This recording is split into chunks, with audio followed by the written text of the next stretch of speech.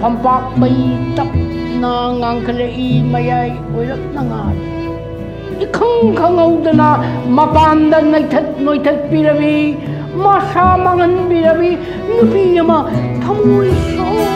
na ayaka kung